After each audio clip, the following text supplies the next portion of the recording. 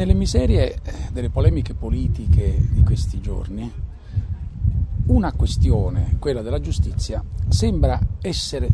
sostanzialmente legata ad una forma di contrattazione, come se la questione giustizia fosse materia di contrattazione e non un fatto drammatico, reale, nel quale si consumano molti eventi. Per esempio quello di una domanda di giustizia che viene legittimamente dalla gente, dai cittadini, ma anche una questione di giustizia giusta, molto spesso evasa nel nostro Paese, proprio perché i fatti ci documentano come sul fronte della capacità di applicazione di una giustizia giusta il nostro Paese ha conquistato la palma d'oro del peggior paese di civiltà democratica. Della questione giustizia fa parte per esempio un capitolo drammatico che è quello delle carceri, che molto spesso viene dimenticato essere un capitolo nel quale si consumano uno dei massimi aspetti di barbarie. Abbiamo una popolazione carceraria che sicuramente è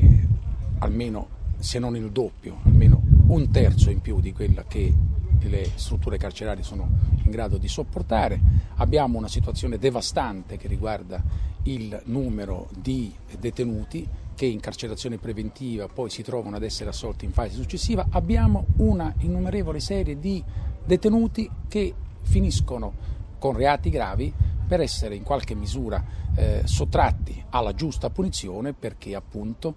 la nostra azione si muove dentro un criterio in cui efficacia, efficienza, ma anche giustizia giusta non sono i parametri in cui si consuma la situazione.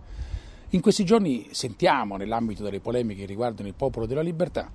un altro fronte, quello di una trattativa tra i finiani e berlusconiani che avrebbe per oggetto, per esempio, una, eh, diciamo, eh, Dovut et Des, che avrebbe come oggetto appunto una spartizione per cui Fini divenuto il difensore dei giudici pretende di trattare sì il lodo Alfano, ma di sottrarre all'agenda politica la responsabilità civile dei magistrati, dimenticando che la responsabilità civile dei magistrati è un terreno se si vuole complicato, ma su quale la popolazione italiana ha già espresso una propria sacrosanta opinione con un referendum, che non è una criminalizzazione nei confronti dei magistrati, ma è anche una attestazione di responsabilità per dare a quella magistratura sana le condizioni di poter esercitare la propria funzione e per sottrarre l'utilizzo della magistratura come strumento per intervenire nell'agenda politica, molto spesso in modo spropositato. E qui ci esoneriamo da qualunque giudizio sugli ultimi avvenimenti che hanno accompagnato il caso Marcegaglia. Qual è allora quindi l'oggetto della questione giustizia? È che a tutt'oggi manca una capacità di leggere la stessa con quei criteri di democrazia liberale che sono tipici di qualunque realtà di civiltà democratica. Questo credo sia l'elemento su quale dovrebbe confrontarsi anche la sinistra, che a tuttora non è in grado di segnalarci quali sono gli aspetti della sua politica sulla giustizia. Molto spesso spazia tra una sorta di mugugno rispetto all'utilizzo di potere che la magistratura fa e una sorta di accondiscendenza, di subalternità, forse braccata da quel